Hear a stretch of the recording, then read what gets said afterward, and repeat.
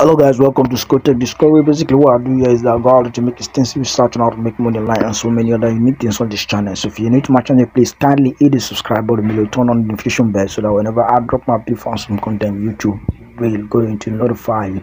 So guys, today I just want to show you something quickly. It's not about anything about making money.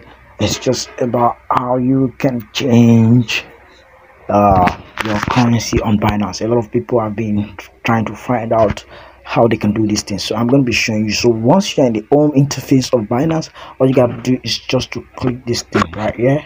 Uh this contact thing. Can you see it? Upside but left. Okay. So when you click it okay it's gonna bring a page like this for you. So this page you're gonna see settings. You're gonna see all the things. So you just click settings. You can find out on settings.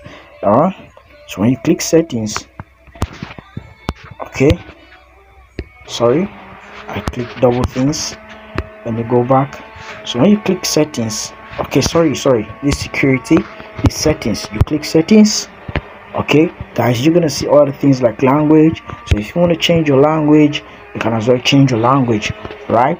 So i can put it in france and put in other kinds of um, uh, what's it called?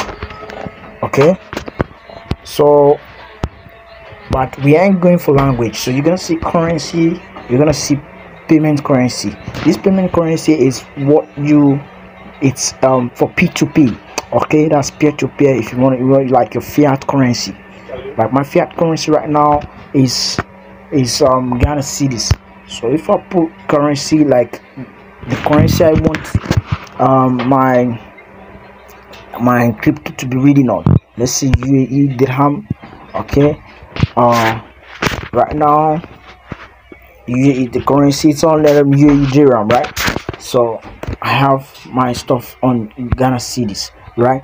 So if I go back right now I want to show you something my currency we're gonna be reading dirham.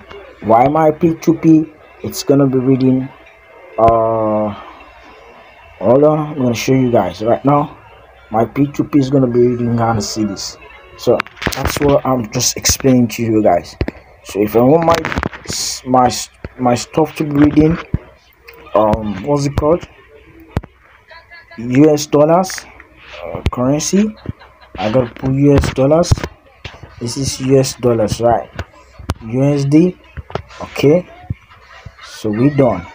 Then i go back to to this let's say i want it to be uh I want to be uh, in maybe Nigerian naira for instance.